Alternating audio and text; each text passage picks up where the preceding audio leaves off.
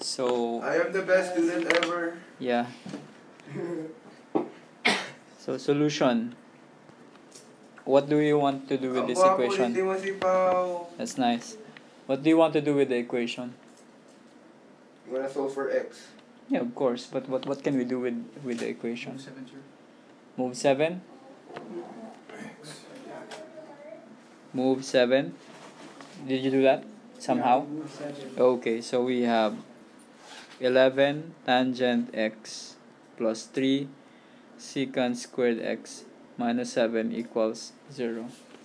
What did you do next? And then the secant squared Move of seven. x. I use the trigonometric identity. So What, what is it equal to? 1 plus tangent squared x. Okay, so secant squared x is an identity, or the identity for secant squared x is 1 plus tangent squared x. Okay, Yeah. that's a good idea. 11 tangent x plus 3, and then 1 plus tangent squared x. Can I write that as tangent squared x plus 1? Yes. It's Can okay, be. right? Can be. And then minus 7 equals 0. And then what did you do next? Uh, we we distribute. Okay. 11 tangent x plus 3 plus 3 tangent squared x minus 7 equals 0. And then, and then seven, negative 7 plus 3. So 11, you can write it as 3 tangent square x. okay, so you arrange it 3 tangent squared x and plus then 11 tangent x. plus 11 tangent x minus 4. minus 4 For, for a moment. equals 0. I thought you were writing on the green board. okay, is, this, is it still clear? Yes, sir. Okay, and then let's get some space. Okay, what can we do next? Then do tangent x equals to y. So we will represent tangent x into a certain letter. Okay, maybe that can help us. So what will happen if I the shadow is on the board. okay. So what can what will happen if tangent x is y? So how will the equation change? Um, cosine inverse y. Cosine, cosine tangent y. Uh, cotangent y. Should we do that now? 3y Dami mo squared. sinabi. so the equation becomes 3y square so and then Plus, plus plus 11y plus 11y minus 4 minus 4 equals 0. equals 0. Just to to get the wisdom of doing this, why do we need to change tan x into a y? It makes it easier. To make it easier. Okay, it's not just tangent x changed to y for no reason, but just for us to see the equation in Why it, do we make? Why do we need to make it easier? so that you can easily see what you can do next. Why? You're just repeating the question. Huh? I copy the solution first?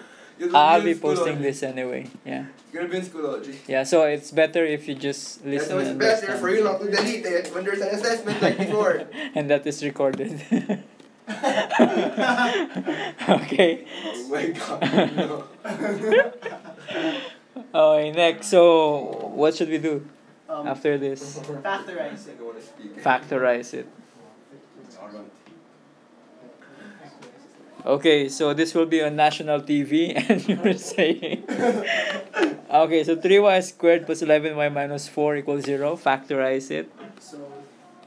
So, So uh, 3y then 3y and plus. plus. Eh, you know, Isn't that risky no, to, wait. to, to go directly to that? Put the y first. Put the y Y, first. yes. Okay, so that we'll see it's 3y times y is 3y squared. And then, Um, 2 and 2. You can get 2 and 2 para 4. No, I guess. what's a better combination? Neg- uh, Three plus negative one. 1 and plus positive. Minus 1 and positive 4. So negative 1 times 4 is negative 4. That's correct. You get negative y, you get 12y, you get 11y. Right? That's how you check. So this is equal to 0. And then, what will happen next? Um, 3y equals. 3y, 3y. 3y minus minus 1 equals 0. And y plus 4 plus 4 equals zero. equals 0. And then, Move the numbers to the right. Isolate okay, y. so like this. And then y is negative 4. Okay, and then, That's the time you can make it tangent x. Oh wait, not yet. so y here is Equals to one third. 1 third. So still y is negative 4. And then, what is your plan? Make it tangent. So you can return it to tangent x. Okay, so tangent x, the first tangent x is One third. 1 third and tangent x is equal to Negative. negative 4. So as you can see, these are like type 1 questions. Something that you can do, okay? Easier than the actual given. So how do you find x for each equation? Cotangent. I mean reverse. Reverse, tangent inverse. So from here, we get x is tangent inverse of, with sine cos? Ah. of 1 third. Right? Can you get the principal value? That's eight. That's What's x? So the, the number that you will get in the calculator is your principal value and that that's eighteen point forty. 18.42 and usually 42 Forty-three. 43 and usually there are two answers right if it's within again like we've said before if i did not set any condition we assume that x should be from 0 to 360 so 18.43 is already one of the answers how do we find the other answer Uh, three. Then do the same thing. no no, no. we will we are still in tangent x equals one third Um, 360 minus 4. 360 minus 18.43.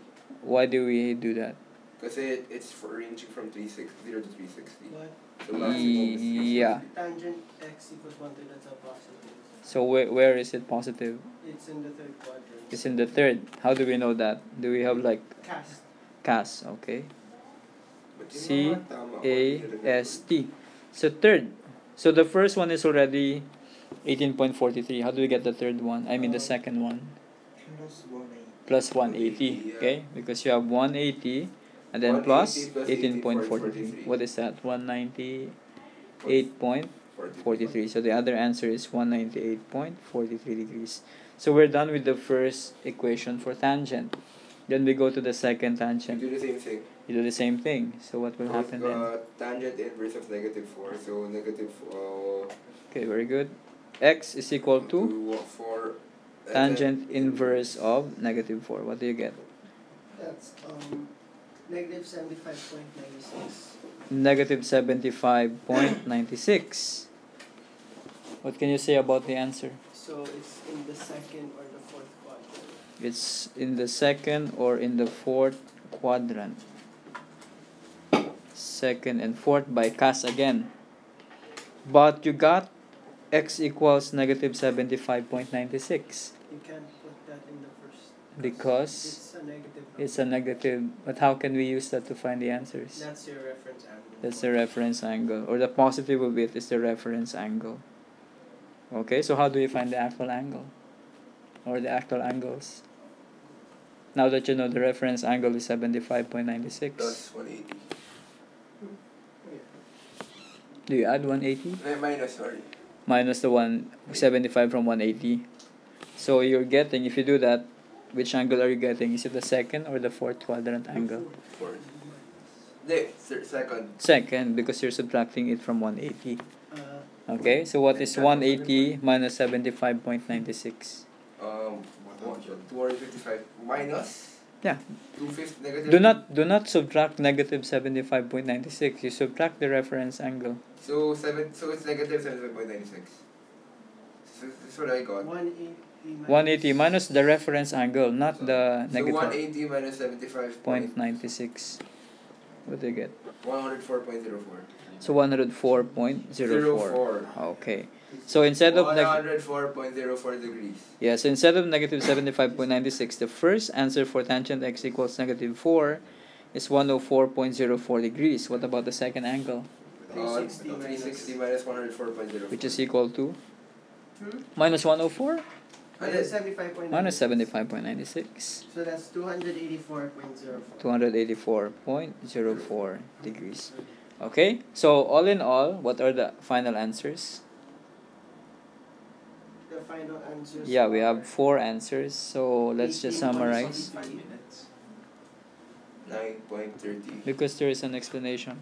Okay, so first x is 18.43 degrees, and then 198.43 degrees, and then 104.04 degrees, and 284.04 degrees. All angles between 0 and 360. Okay, don't forget when you see the word inclusive, 0 can be an answer, 360 can be an answer. If you don't see the word inclusive, sometimes you put exclusive, then that means you cannot include 0 and 360. Yes, so even if they will come out as an answer. Okay, clear? Okay, so that's all for now. Thank you. Okay, we'll see the next video.